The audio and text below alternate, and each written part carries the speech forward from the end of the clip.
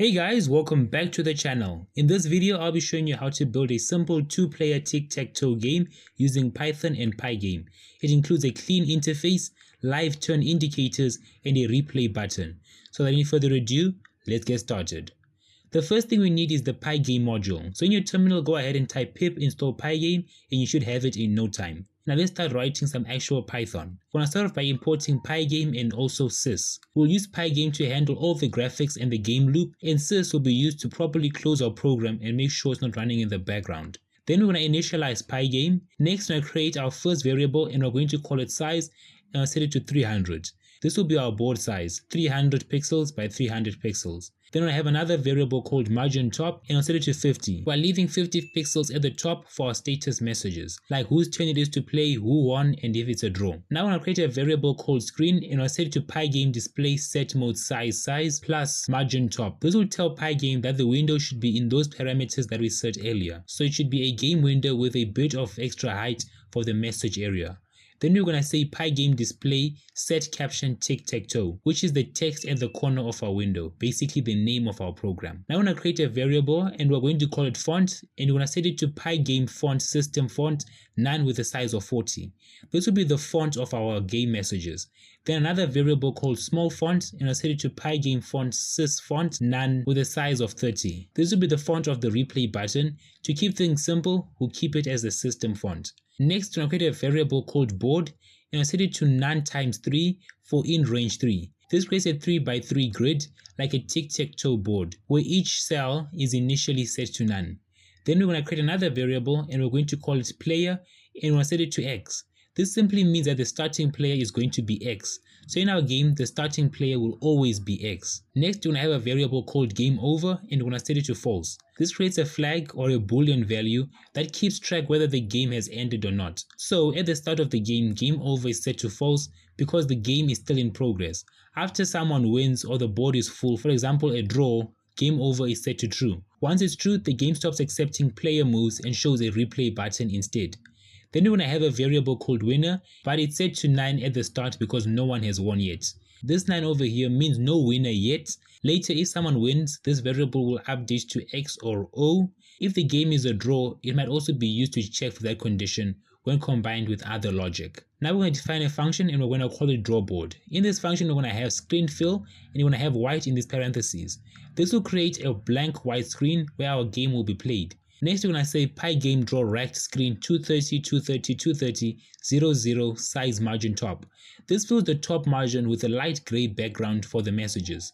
This 230, 230, 230 is the RGB for gray. Now we're going to say for i in range 1 and 3, pygame draw line screen black with this also. I'll explain what this does in just a moment. We're also to say pygame draw screen black with this as well. This first part over here is the starting point. Left side row I adjusted for top margin. This second line over here draws a vertical line. The first part is the starting point, the top column, just below the margin. The second part is the end point, the bottom column. The reason we use i times 100 is because each cell is 100 by 100 pixels.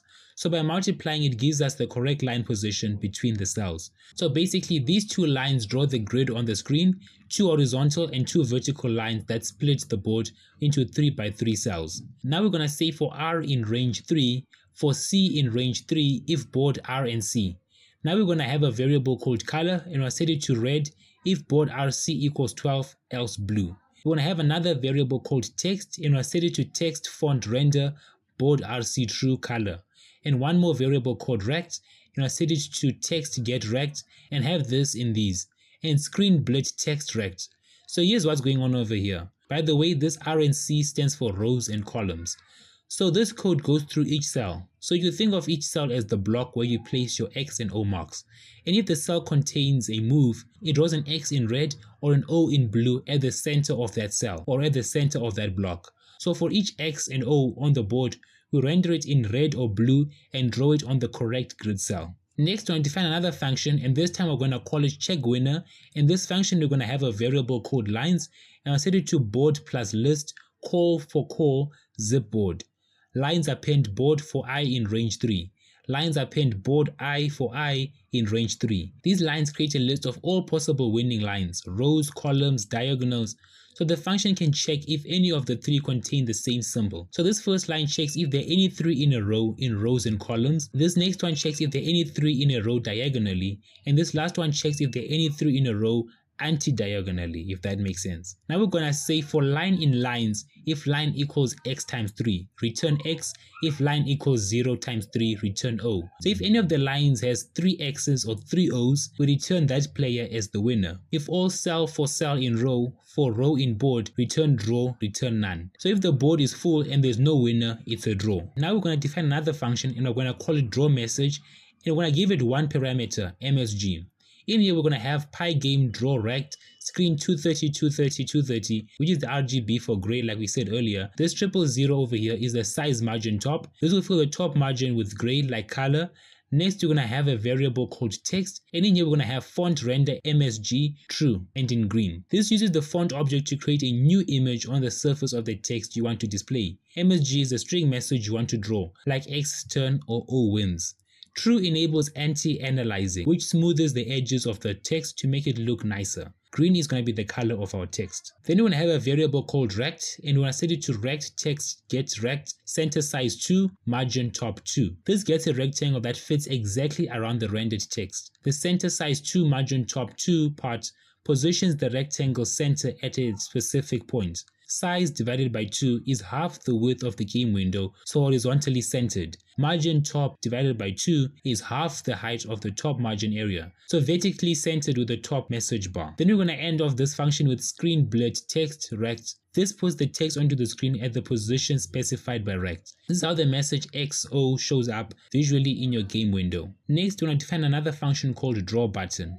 In this function, we're going to have a variable called button rect, and we're going to set it to pygame rect. In these parentheses, this line creates a rectangle button area 100 pixels wide and 30 pixels tall positioned horizontally centered just below the 300 by 300 game board to represent the clickable replay buttons area. Now we're going to say pygame draw screen light gray button rect. This draws a light gray background for the replay button on the game window where the button will appear. Then we'll have a variable called text and we want to have it in a small font render replay true black. This uses a small font object to create an image surface of the text replay.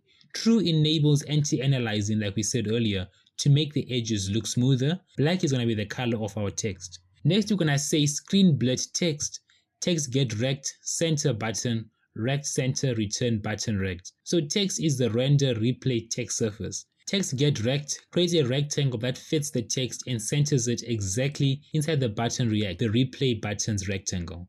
Screen blit then draws the text onto the screen at that centered position, returns the rectangle object representing the replay button's area. This is useful so that our program can later check if a mouse click has happened inside this button area, for example to detect clicks on replay. Now we're to start with the main game loop. So we're going to say while true, and then here we're going to say for event in pygame, event get, if event type equals pygame quit, pygame quit sys exit. If the player clicks the close button, we quit the game and close it in the background as well. Then we're going to say if event equals pygame, mouse button down, and not game over, Next, we're going to have x and y variables and we're going to set them to event position if y is greater than margin top and y is less than size plus margin top, call row equals x divided by 100. So when the game is running and the player clicks, we get the cell based on their mouse position. Now we're going to say if not board row call, board row call equals player. Then we're going to have a variable called winner and we'll set it to check winner. Next, we're going to say if winner game over equals true else player O if player X else X. This checks if the cell is empty. If it is, we place the symbol, check for the winner and switch turns. Now we're gonna say elif event type equals pygame mouse button and game over. If draw button collide points event position board none times 3 for range in 3 player equals X game equals false winner equals none. This checks if the game is over. When the game is over, and the replay button is clicked, we reset everything on the board. Next, we're gonna say draw board if game over, if winner equals draw, else draw message winner wins. Draw button, else draw message player's turn. Pygame display flip. So over here we draw the board and the message in every frame. If the game's over, we show the results and the replay button. If the game is not over, we show whose turn it is to play. And finally, Pygame display flip will flip the display to update everything. And that's it, we're done coding this game. You can now go ahead and run the program and you've got a working two-player tic-tac-toe game with turn messages and a replay button. Simple, clean and ready to expand. And that's it for this one. If you enjoyed or found this video helpful in any way, shape or form, then consider leaving a like and subscribing. Turn on post notifications to be the first to know when I upload a new video. Also, I'm always looking to improve. If you have any constructive criticism or any questions or just want to say hi, then leave them in the comment section below. And until next time, thanks for watching. Peace.